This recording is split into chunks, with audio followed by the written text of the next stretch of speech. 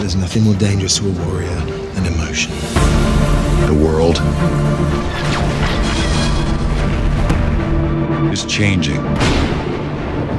What you're trying to do here, these children don't stand a chance against what's coming.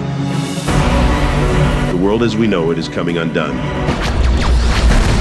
The Empire is pulling it apart with hate and destruction. The next generation needs a guide to shape the symbol of the rebellion into the future. A new age is on its way. The time is now.